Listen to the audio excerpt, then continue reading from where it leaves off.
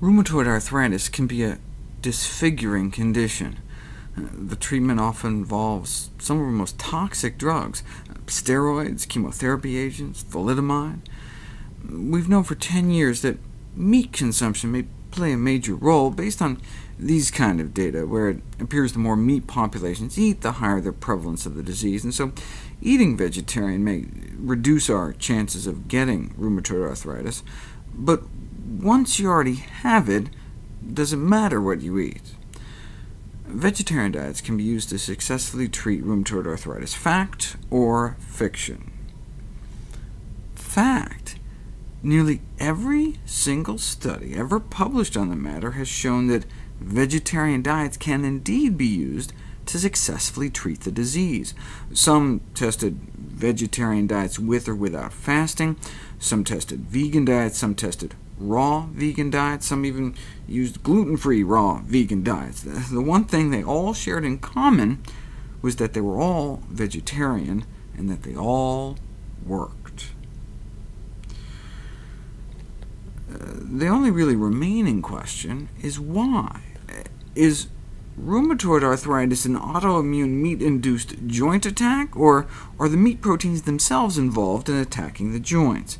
This is from uh, earlier this year. A case report of a woman eating eggs, dairy, and meat with joint inflammation so bad she was on chemo and steroids, until she stopped ingesting animal products, and her symptoms disappeared when she just ate plant proteins she could turn on and off her disease like a light switch. It even says how uh, she ate meat the night before her doctor's appointment, uh, just to show the doctor that she really did have bad arthritis. When susceptible people put all these foreign animal proteins in their body, one of two things may happen. When we nibble on the cartilage at the end of a chicken's leg, our immune system may react to these foreign cartilage proteins by producing anti-cartilage antibodies that may get confused and start attacking our own cartilage. That's what they mean by meat-induced joint attack. The other possibility is that even if there are no cross-reactivity confusion, the, the immune complexes formed by the meat proteins in our antibodies may migrate into our joints and trigger inflammation that way. It's actually interesting how they're doing some of these experiments. Uh, when scientists want to know if something, someone's truly reacting to animal protein. They can't just give them bacon and eggs and ask how they're feeling, because you have to have a placebo control to compare the food to, and you know, people are going to know if they're eating bacon and eggs or a sugar pill.